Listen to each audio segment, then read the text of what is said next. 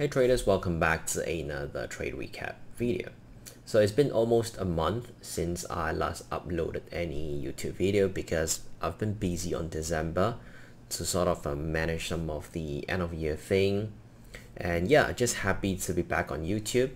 And I actually started trading today, uh, which is the 3rd of January 2024. It's my first trading day and it turns out to be pretty solid.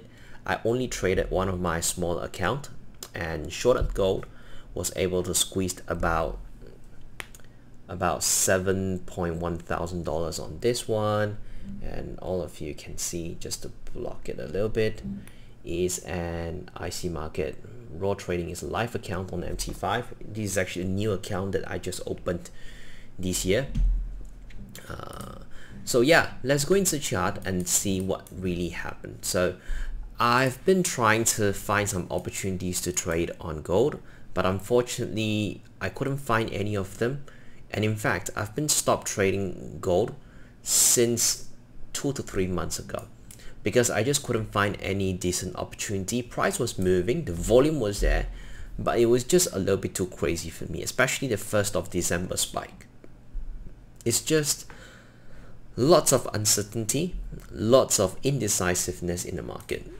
So because of that, I completely avoided gold and I was able to finally see some short-term opportunities short it.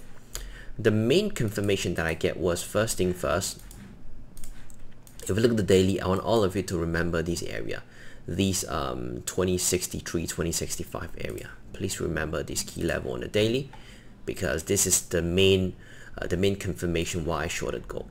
So you see, price have that massive spike on 4th of December in fact, within that 4 hour candle, we spiked for about 763 pips and the entire daily range was about 1280 points.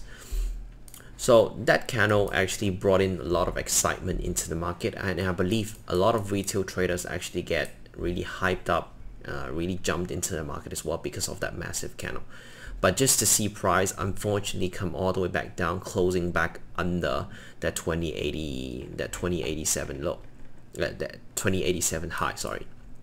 Price dropped and it go all the way back again.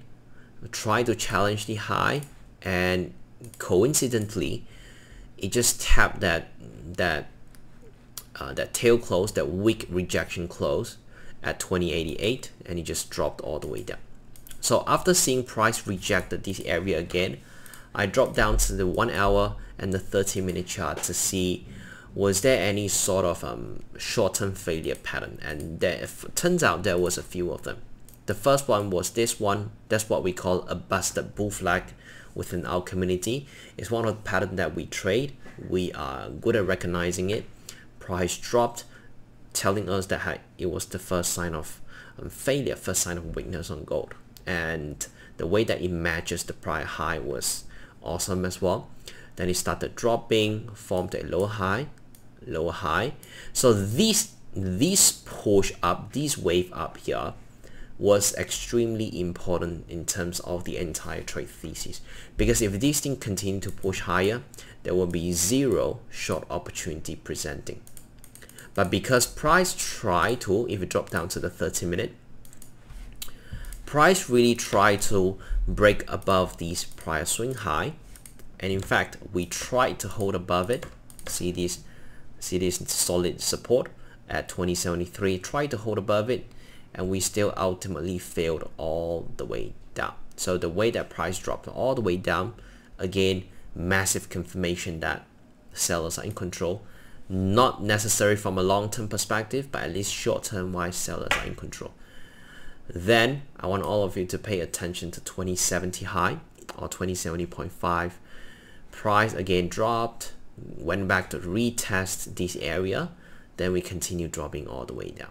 So today when I start seeing price pull back, the first thing that came into my mind was I want to continue shorting gold because first thing we have multiple failures on the high, can't hold above the 2073, cannot revisit that 2087 we even failed at that 2070 so failure failure all these were signs of weakness.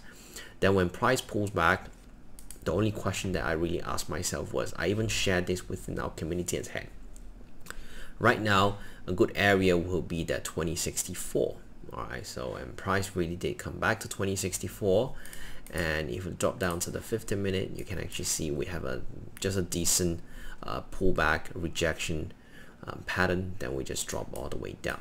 So arguably speaking my exit was a little bit conservative I understand and mainly because it's the first trade of 2024 so I didn't want to sort of do anything to uh, to mess up the trade. So I'm house happy to close it for 5 it was a static TP which means I was not an open target position. I just closed it um, based on my TP level at 2052.40 so secured about 5.1R that's about $7,000 plus on my smaller account.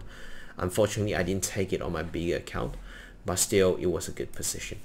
So yeah that's pretty much it for the trade recap. And before I close the video I would just like to um, sort of wish all of you especially if you've been supporting the channel if you have if you're one of my trade club members who's been who's watching this video I just want to tell all of you how much I appreciate all of you. And thanks for always supporting the channel. Thanks for tuning in. And I hope that my channel will be able to further provide more value more realistic expectation, more real education, more mindset lessons to all of you whoever's watching this video. And I hope you find motivation from my YouTube channel.